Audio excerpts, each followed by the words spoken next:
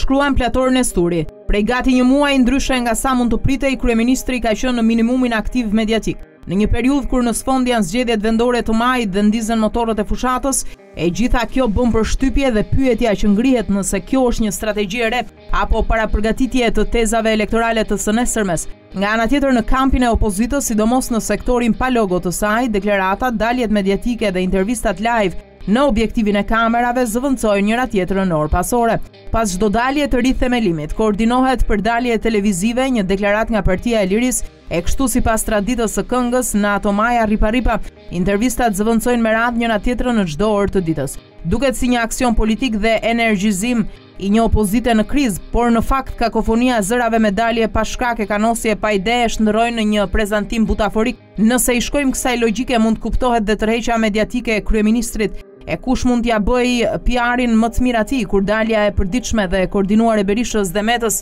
U kujton në mënyrë të vijueshme shqiptarëve se kush është alternativa e opozitës, ata të njëjtët, të përhershëm e të pandryshueshëm, që nga fillimi i dhjetorit kur rithemelimi prodhoi me aq urgjencë primaret si për të zënë radhën për të drejtën e kandidatëve të opozitës, kish reshtur aksioni politik. Kandidatët e primareve ju gëzuan fitores së votave partiake me një festë të gjatë fundviti, pasi nuk kishin ç'të bënin tjetër në një fushë të vetmuar kur orari i ndeshjes do kohë që të vijë. As për nxehje nuk kanë dalë prej asaj kohe, përderisa fanella e veshur ka mbetur pa logo dhe mbetet e paqartë nëse sërish do e marrin borxh si më 6 mars. Përtej kandidatëve halli të cilëve duket se është fokusuar jo te përballja elektorale, por nëse konkurrentët e logos do vendosin kandidatë alternativë, dhe selia qendrore duket se nuk ka patur ndonjë ide të përtypshme. Në këtë vakum ideor, deklarata e fundit e Berishës se nuk do të njohë rezultatin e zgjedhjeve dhe se Rama mund të rrëzohet vetëm me revolucion, ishte një përpjekje e dëshpëruar, të paktën për të bërë lajm, Në një klimë ku fushata zgjedhore po vijon në një normalitet e pa problematika thelbësore, një deklaratë e tillë është të pomposh me zor një konflikt të paqënë.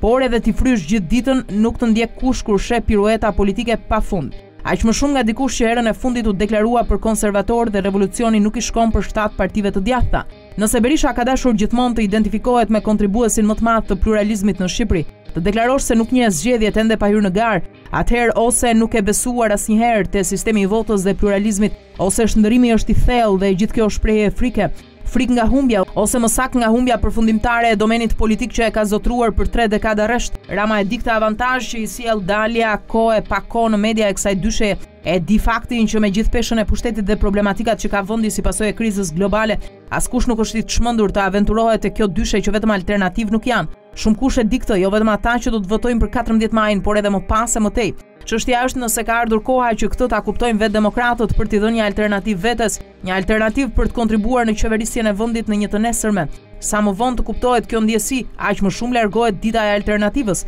pasi në një parti politike roli i një lideri mund ta çojë përpara e t'i jap hov aksionit politik, por mund ta mbajë edhe peng e ta varrosë të ardhmen e asaj force. Pamfleti është një platformë mediatike analitike që u lind si domosdoshmëri e një tribune pa kompromis, si një zë i fuqishëm në luftën pa ekuivok ndaj krimit dhe korrupsionit politik në Shqipëri.